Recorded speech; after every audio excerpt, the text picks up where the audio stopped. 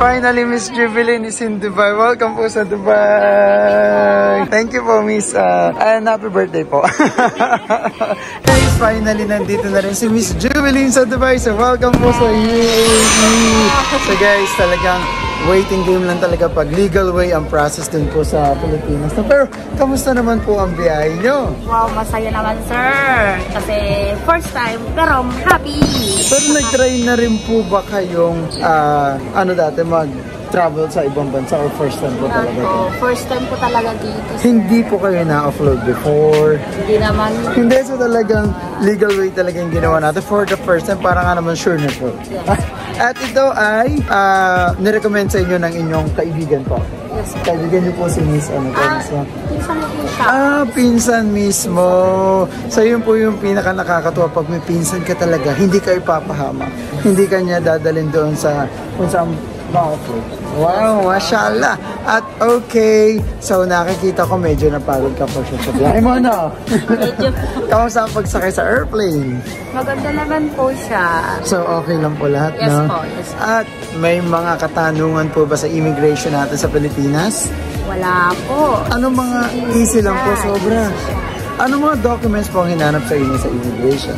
Ah, ano po yung visa ko, tsaka yung sa passport, yung kontrata ko. Yun lang naman po. Pero wala po talagang katanungan. Wala naman po sir. Talaga, so...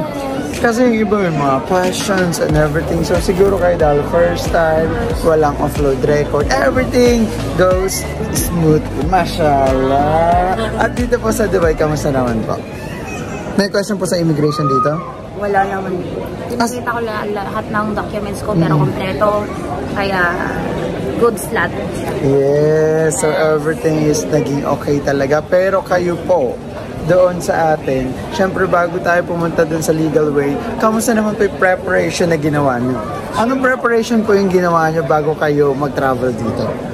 A month before, sir, nag magre-review sana ako pero di ba sabi niyo, kailangan lang ano, Oo, talaga. chill-chill lang, oo. Kaya ano po, ready naman po ako pero tas ano, lahat ni-review ko. Then lahat nung gumana ako doon, pasok. Okay na. So, everything po talaga is naging okay. Pero kinabahan pa rin po ba kayo sa immigration? Kahit first time nyo, kinabahan kayo? Hindi naman po, sir. Hindi talaga. Kasi I think yung pinsan nyo na si, ano, is na-afford niya siya before, no? Opo, sinabi naman kasi niya sa akin lahat. Oo. Pero yun yung maganda kasi may nagga-guide sa kanya. Bukod sa pag-guide ko, may nagga-guide pa sa kanya na nagkaroon na ng experience kung paano ba gagawin. At kagandahan is they will work on the same company. Mashallah! At welcome po ulit sa Dubai! So sana po mas maging okay kayo dito sa Dubai at ah, mas gumanda ang buhay niyo. Mashallah. Okay po, thank you po. Bye-bye!